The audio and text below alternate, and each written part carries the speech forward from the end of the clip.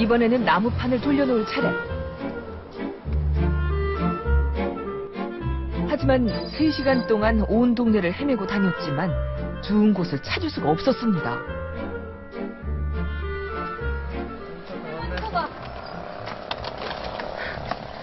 할머니! 반가움을 주체 못하는 장 PD. 가져온 폐지와 고무를 확인하는데 가차없이 바닥으로 내팽겨 쳐지는 물건들. 목재와 형광 등은 고물상에서 취급하지 않고 소주와 맥주병을 제외한 유리병은 수거하지 않는답니다. 너 이런 건 안 된다고 그랬잖아.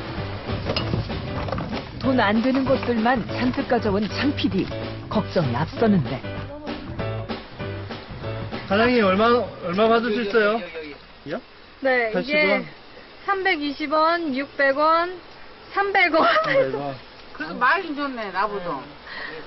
할머니는 얼마 버셨는데요? 저는 1200원 벌었어요.